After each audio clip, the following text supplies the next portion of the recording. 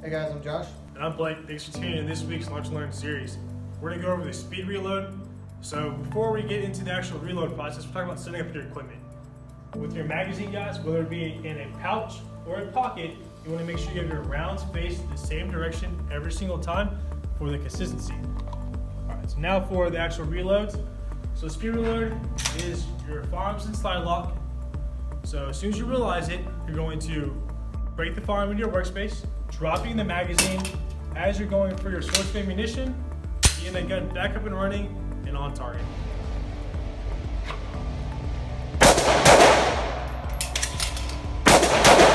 As always, guys, thanks for tuning in to this week's Lunch and Learn series, uh, the Speed Reload. Check us out on Facebook, Instagram, and Twitter for the following episodes. We'll see you next time. Thanks, guys.